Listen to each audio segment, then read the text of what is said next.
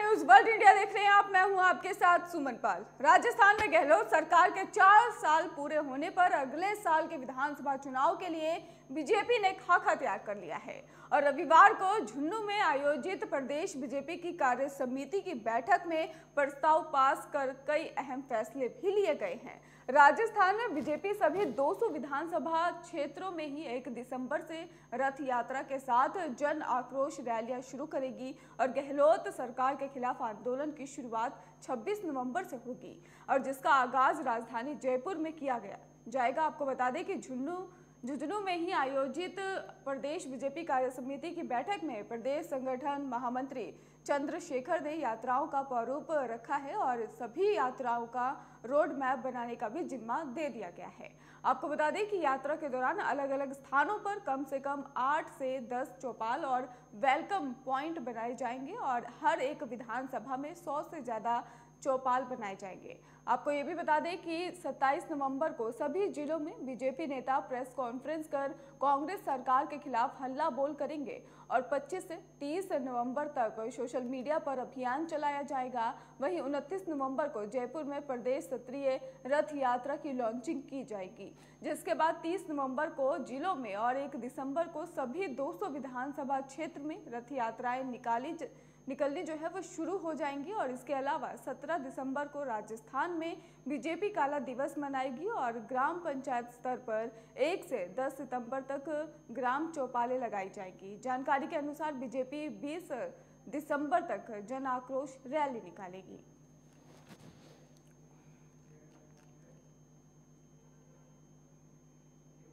कांग्रेस नेता राहुल गांधी 22 नवंबर को गुजरात आएँगे और इसके साथ ही वहाँ पर पार्टी के लिए चुनाव प्रचार भी करेंगे। भारत जोड़ो यात्रा से ब्रेक के दौरान राहुल गुजरात का दौरा करेंगे और कांग्रेस के पूर्व अध्यक्ष को हिमाचल प्रदेश विधानसभा चुनाव प्रचार में ही शामिल नहीं होने के लिए बीजेपी की तरफ़ से आलोचनाओं का सामना करना पड़ा, जहाँ 12 नवंबर को मतदान हुए थे और हिमाचल चुनाव में पार्टी कार्यकर्ताओं की भी मांग थी कि राहुल गांधी राज्य में चुनाव प्रचार के लिए पहुँचते।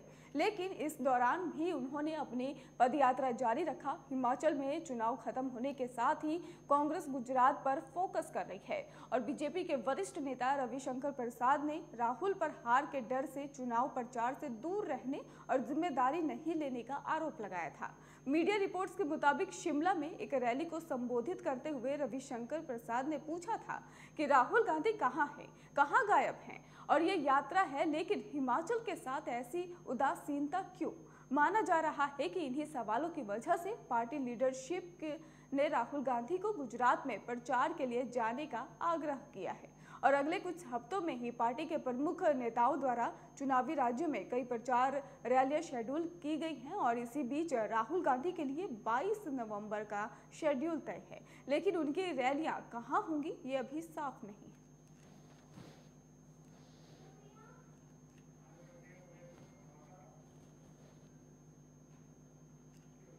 उदयपुर अहमदाबाद रेलवे लाइन पर बने पुल पर शनिवार देर रात अज्ञात लोगों ने ब्लास्ट कर दिया।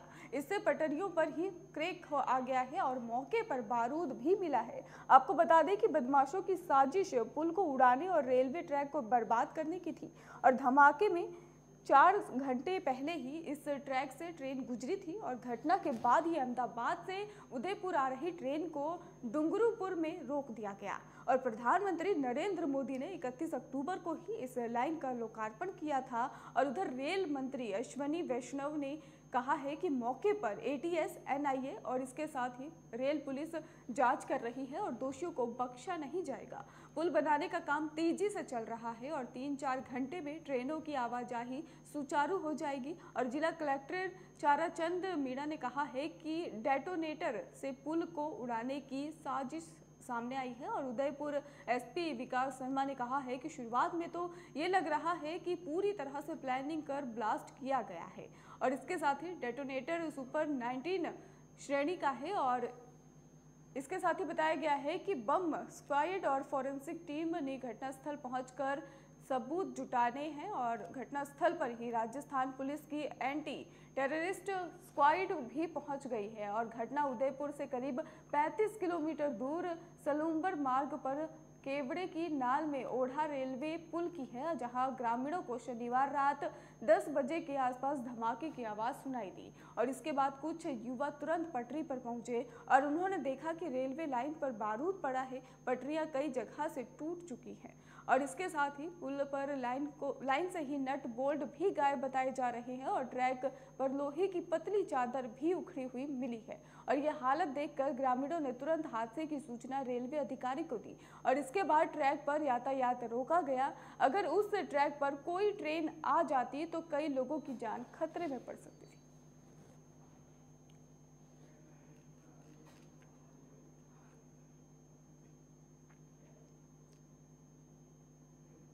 देश आज पहले प्रधानमंत्री जवाहरलाल नेहरू की जयंती मना रहा है और इस खास मौके पर कांग्रेस अध्यक्ष मल्लिकार्जुन खड़गे और सोनिया गांधी ने उन्हें श्रद्धांजलि अर्पित की है।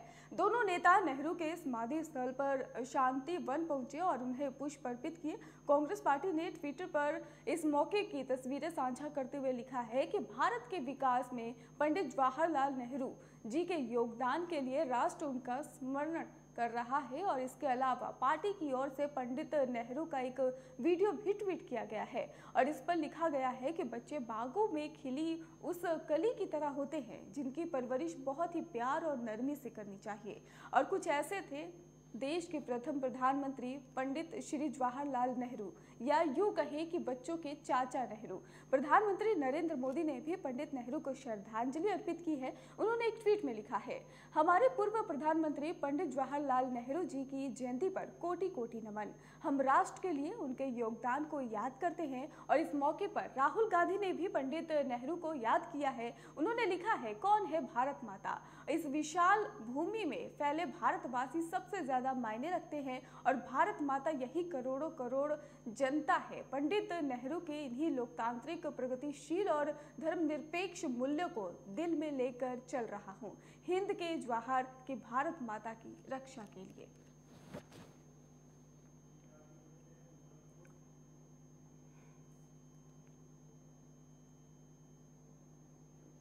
मुख्यमंत्री योगी आदित्यनाथ गोरखपुर में अपने दो दिवसीय दौरे पर है और जहाँ उन्होंने सुबह गोरखपुर मंदिर परिसर में ही जनता दर्शन के दौरान लोगों की फरियादें सुनी हैं और संबंधित अधिकारियों को मामले का जल्द से जल्द निस्तारण करने का भी दिशा निर्देश दिया है। तो गोरखपुर से आपको खबर बता रहे हैं, जहाँ पर सीएम योगी ने दो दिवसीय दौरे पर ही लोगों की फरियादें सुनी हैं और इसके साथ ही लोगों से बातचीत भी की है। भारी संख्या में लोग वहाँ पर मौजूद रहे हैं, जो अपनी अपनी फरियाद लेकर सीएम योगी आदित्यनाथ के पास पहुँचे।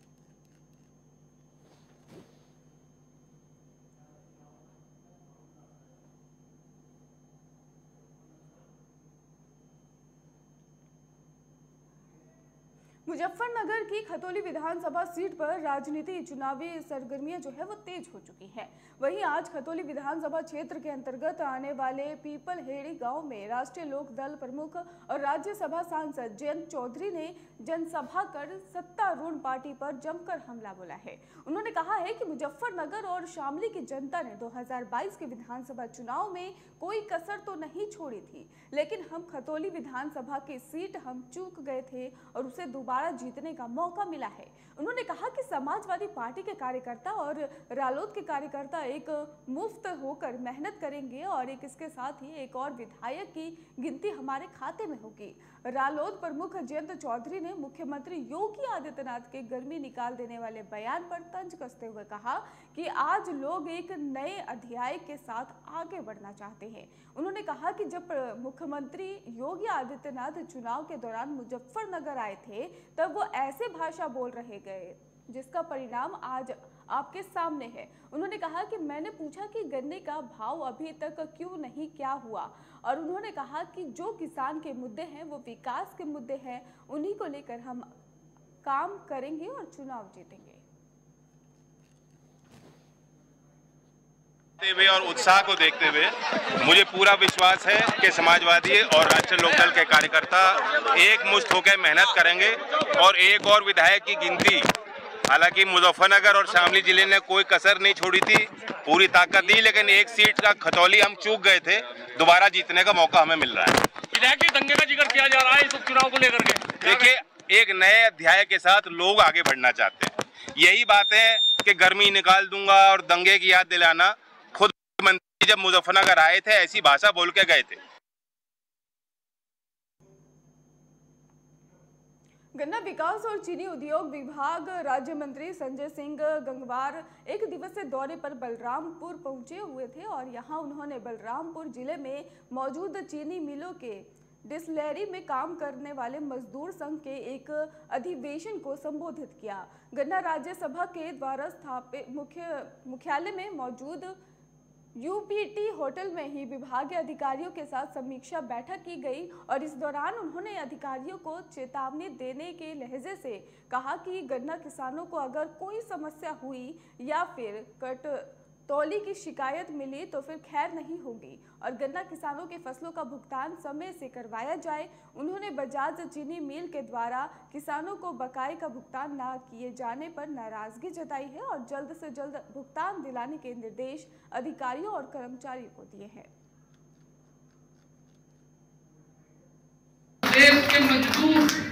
इन सब के लिए जो चीनी और डिस्टरी से जुड़े हैं, इनके लिए एक वरदान।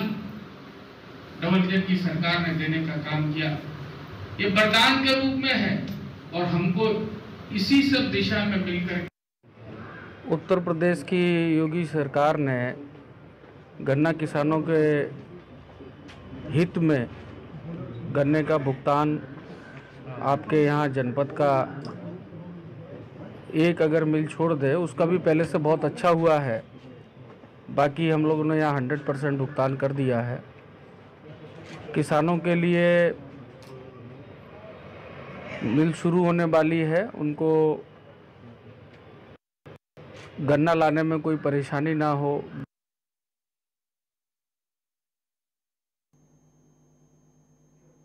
मुख्यमंत्री योगी आदित्यनाथ द्वारा पूरे प्रदेश के विकास को लेकर तमाम तरह के प्रयासों और योजनाओं चलाई जा रही है। और गोरखपुर की बात करें तो जब से प्रदेश में योगी सरकार बनी है, तब से गोरखपुर का चौमुखी विकास हो रहा है।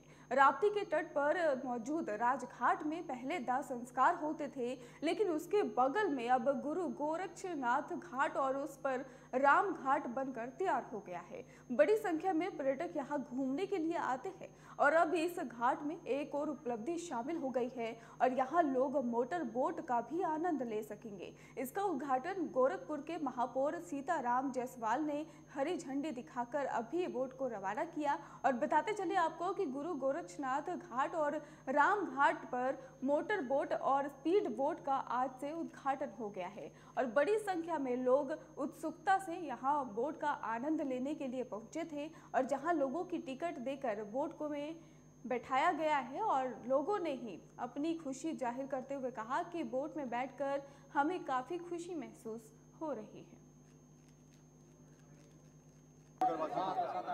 ये देखिए राप्ती घाट का सुंदरीकरण करना भारतीय जनता पार्टी और हमारे मुख्य मंत्री जोगी जी का ड्रीम प्रोजेक्ट था। और पर्यटन की दृष्टि से इसको सुंदर बनाया गया है। मुख्यमंत्री जी का दिशा निर्देश था कि राप्ती घाट पर भी वोटिंग होनी चाहिए, जिससे काफ़ी पर्यटन को बढ़ावा मिलेगा। इस कार्यक्रम में नगर निगम ने पहल की है। और आज राप्ती तट पर बोटों का संचालन शुरू किया जा रहा है। में यहाँ की जनता का काफ़ी उत्साह है।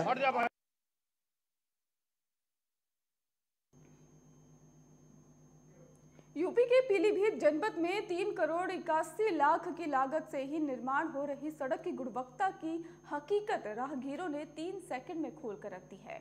लोगों ने हाथ से ही नई बनी सड़क पर बने मार्ग का बजरी और कोलतार उखाड़ दिया है और इस मामले में वीडियो जो है वो सोशल मीडिया पर जमकर वायरल हो रहा है।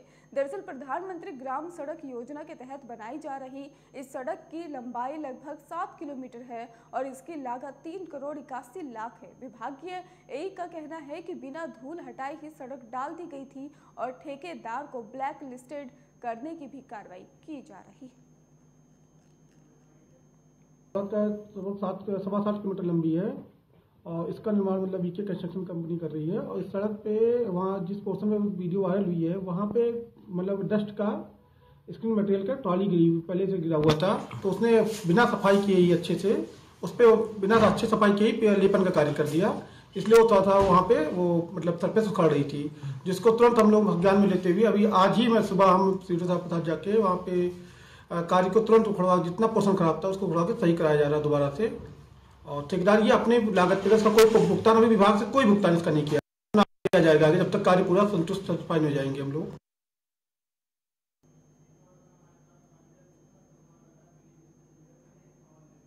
और इसी खबर पर पीलीभीत से संवाददाता प्रांजल गुप्ता हमारे साथ जुड़ चुके हैं। प्रांजल, जिस तरह से सड़क निर्माण कार्य में घोटाले का मामला सामने आया है, अभी तक क्या कार्रवाई हो पाई है इस पर? जिस तरीके से आपको बता दें उत्तर प्रदेश सरकार लगातार दावे करती है, वादे करती है, गड्ढा मुक्त सड़क देंगे और वही जो है, यहाँ सड़कों के घोटाले सामने आ रहे हैं। एक तो या तो सड़कें या तो हैं नहीं, और हैं तो उनमें गड्ढे हैं। और अगर सड़क बन भी रही है तो उसमें भी घोटाले, भ्रष्टाचार की कीमत जो है, लगातार लगती चली आ रही है। ये पूरा जो मामला है, ये पूरनपुर भगवंतापुर टांडा, छत्रपति रोड का ये मामला है। इस सड़क का जो निर्माण जो किया है, वो बीके कंस्ट्रक्शन कंपनी ने जो है किया है, जिसको, जिसमें लागत जो आई है, करीब तीन करोड़ इक्यासी लाख रुपए की लागत आई है। बताया ये जा रहा है कि एक राहगीर जो है, वहाँ से गुजर रहा था, उसने बाइक सवार था, उसने ब्रेक लिया और गाड़ी जैसी स्लिप हुई और स्लिप होने के साथ सड़क जो है उखड़ के बाहर आ गई। तो वहीं जो एक सरदारजी थे, उन्होंने पूरी सड़क का जो है, पूरी पोल खोल दी है वीडियो में आप साफ़ तौर से देख सकते हैं कि वीडियो जो सोशल मीडिया वायरल हो रहा है उसमें एक सरदार जी हैं, वो इस सड़क को हाथ से उखड़ते हुए नज़र आ रहे हैं। तो बताया ये जा रहा है कि सड़क जो है बनकर तैयार हो गई। करीब ग्यारह किलोमीटर का ये सड़क है और जो सात किलोमीटर ये बनकर तैयार हो चुका है। करीब सात किलोमीटर की ये सड़क बनकर तैयार भी हो चुकी है और मानकों को जो साथ में रखकर ये सड़क का निर्माण किया गया है। ना तो इसमें बजरी है, ना कोटार है और मिट्टी जो जो सड़क, मिट्टी जो ना तो सफ़ाई की गई, ऐसी सड़क जो है डाल दी गई है। मतलब तीन करोड़ इक्यासी लाख की लागत वाली ये सड़क भ्रष्टाचार की भेंट करती हुई नज़र आ रही है। अब जब ये मामला आप अब जब मामला पूरे तौर पे साफ़ तौर पर नज़र भी आ रहा है। बहुत बहुत शुक्रिया हमारे साथ जुड़ने के लिए और पूरी जानकारी साझा करने के लिए।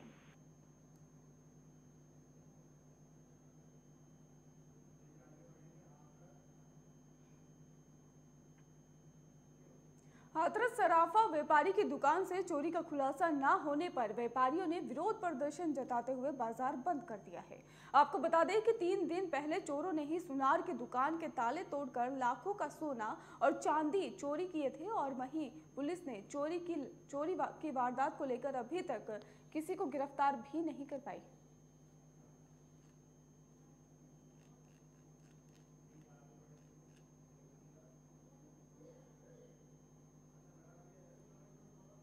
तो आपको बता दें, हाथरस से मामला सामने आया है जहाँ पर पुलिस अभी तक आरोपी को गिरफ़्तार नहीं कर पाई है। आक्रोशित व्यापारियों ने दुकान बंद कर ताला लगा दिया है। ऐसा मामला सामने आ रहा है हाथरस से।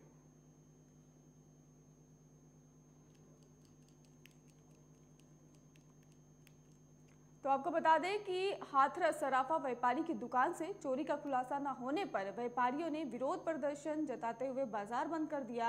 और आपको ये भी बता दें कि तीन दिन पहले चोरों ने सुनार की दुकान में ताले तोड़कर लाखों का सोना और चांदी चोरी किया था और जिसके बाद पुलिस ने चोरी को लेकर अभी तक किसी आरोपी को गिरफ़्तार नहीं किया है। कोई भी इसमें अभी तक गिरफ्तारी नहीं हो पाई है, जिसके बाद जो लोग हैं वहाँ पर मौजूद, वो लगातार दुकानों में ताला बंद कर विरोध प्रदर्शन जता रहे हैं और लगातार मांग कर रहे हैं कि चोर को गिरफ़्तार किया जाए। और इसी खबर पर हाथरस से संवाददाता दीपेश ठाकुर हमारे साथ जुड़ चुके हैं। दीपेश, जिस तरह से मामला सामने आया है, चोर को अभी तक गिरफ़्तार नहीं किया गया है। वहीं जो आसपास के लोग हैं, वो काफ़ी आक्रोशित नज़र आ रहे हैं। जी, सुमन, मैं आपको बता दूँ कि जो पूरा मामला है, वो सादाबाद बेतावर क्षेत्र का है, जो कि यहाँ तीन दिन पहले सराफा व्यापारी की दुकान से ताला तोड़कर चोरी की घटना को अंजाम दिया गया था।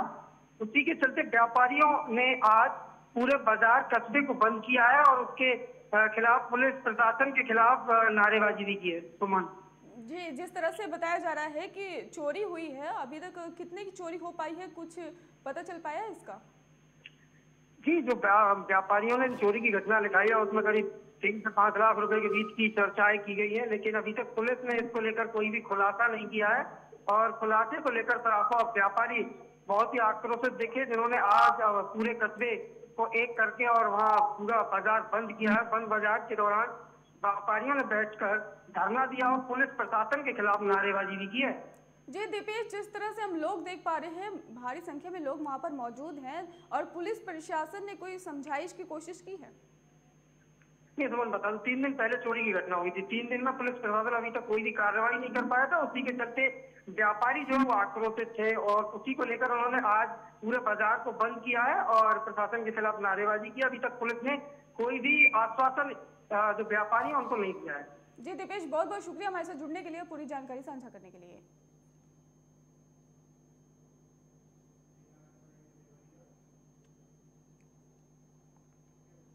देवरिया के ककवल में एक युवती को ग्राम प्रधान सहित उनके लड़के दामाद और ग्राम प्रधान के कुछ गुर्गे ने ही युवती का अपहरण करने की कोशिश की आरोप है। आपको बता दें कि 11 नवंबर को युवती ककवल चौराहे पर बने अपनी मकान पर ही बैठी थी और तब तक गाँव के ही ग्राम प्रधान सहित तो ग्राम प्रधान के लड़के, ग्राम प्रधान के दामाद और अन्य लोग लड़की को जबरन खींचकर गाड़ी में बैठाने लगे और लड़की ने विरोध किया तो लड़की के साथ छेड़छाड़ भी करने लगे और जब लड़की ने शोर मचाया तो फिर शोर मचाने के बाद ही अगल बगल के लोग वहाँ पर जुट गए और उसके बाद भी दबंगों ने लड़की को बुरी तरीके से पीटा है और लड़की के माँ को, लड़की के भाई को लड़के के पिता को पीट पीट कर जख्मी भी कर दिया है। भीड़ इकट्ठी होने के कारण ग्राम प्रधान और उनके गुर्गे लड़की का अपहरण करने में असफल रहे और भाग खड़े हुए और इस विषय में गोगी बाज़ार पुलिस ने प्रार्थी के तहरीर पर ही मुकदमा दर्ज कर लिया है और युवती का साफ़ तौर पर कहना है कि आए दिन हमारे साथ ग्राम प्रधान और ग्राम प्रधान के लड़के और ग्राम प्रधान के दामाद छीटाकशी और छेड़खानी करते रहते हैं।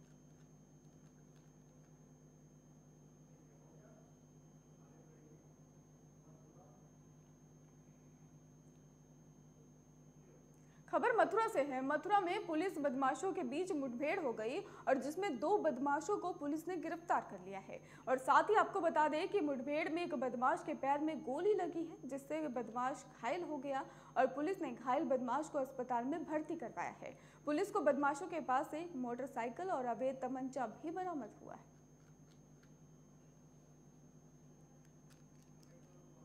तो आपको बता दें, मथुरा से खबर है जहाँ पर पुलिस और बदमाशों के बीच मुठभेड़ बताई जा रही है और बताया जा रहा है कि बदमाश और पुलिस के बीच मुठभेड़ हुई और दो बदमाश उसमें घायल भी बताए जा रहे हैं। तो मथुरा से खबर है जहाँ पर दो बदमाशों को फ़िलहाल गिरफ़्तार भी कर लिया गया है। आज कोसीकला थाने की पुलिस को ये सूचना मिली थी कि फ्रिज लूट से संबंधित दो अभियुक्त गोपाल बाग सर्विस रोड से होकर के किसी अन्य वारदात की फिराक में गुजरने वाले हैं। इस पे पुलिस के टीम के द्वारा वहाँ पे चेकिंग लगाई गई। पुलिस को एक मोटरसाइकिल पे दो व्यक्ति आते हुए दिखाई दिए। उनको पुलिस टीम के द्वारा रुकने का किया गया।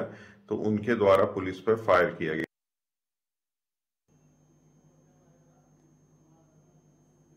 और इसी खबर से, खबर पर हमारे साथ मथुरा से संवाददाता पिंटू जुड़ चुके हैं। पिंटू, जिस तरह से मामला सामने आया है, पुलिस और बदमाशों के बीच मुठभेड़ हुई है, पूरी अपडेट बताइए। जी जी, मैं आपको बता दूँ, ये मुठभेड़, ये सात अपराधी कर रहे थे। इन्होंने लूट की थी, जो फ्रीज थे। आपको बता दूँ, रात्रि को मतलब पुलिस ने उनके साथ मुठभेड़ की है।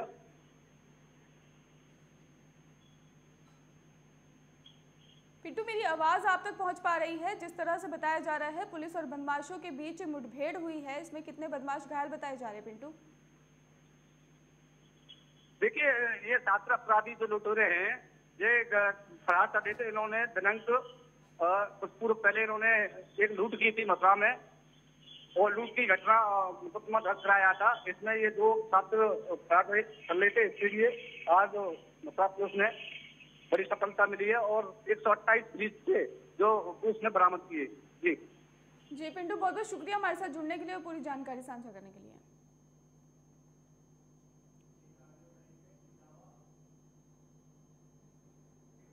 इटावा में जयपुर से नेपाल जा रही टूरिस्ट बस में ही भीषण आग लग गई और वहीं यात्रियों ने बस से कूदकर अपनी जान बचाई है। आग में बस में रखा यात्रियों का सामान जो है वो निजी सामान जलकर जो सभी खाक बताया जा रहा है तो आपको बता दें कि इटावा से खबर है, जहाँ पर यात्रियों ने बस से कूदकर अपनी जान बचाई है। बताया जा रहा है कि बस में अचानक आग लग गई और जिसके बाद यात्रियों को हड़बड़ी में ही अपनी जान बचानी पड़ी है और वहाँ पे हड़कंप मच गया, आग लगने की सूचना जैसे ही देखी और इसके बाद ही स्थानीय लोग भी मौके पर पहुँचे। आपको बता दें कि इटावा में जयपुर से नेपाल जा रही थी ये बस और बस जो है भीषण आग का शिकार हुई है और यात्रियों ने बस से कूद कर ही अपनी जान बचाई है। आग में बस में रखा जो सामान था, वो आग में जलकर राख हो गया।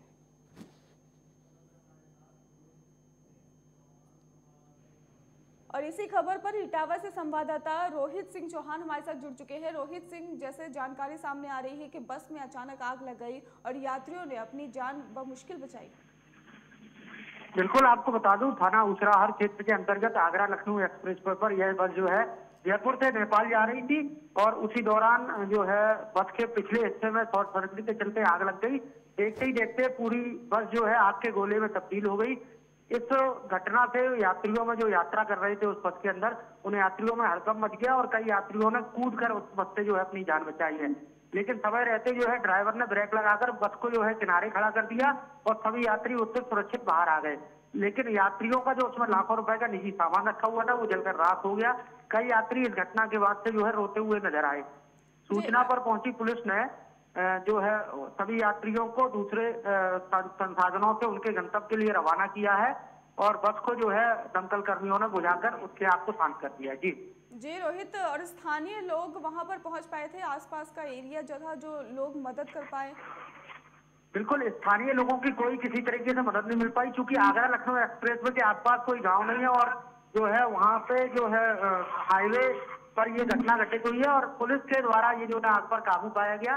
और यात्रियों ने जो है किसी तरीके से अपनी जान को सुरक्षित किया, अपने अपने आप को बचाया। जी। जी, रोहित, बहुत बहुत शुक्रिया हमारे साथ जुड़ने के लिए और पूरी जानकारी देने के लिए।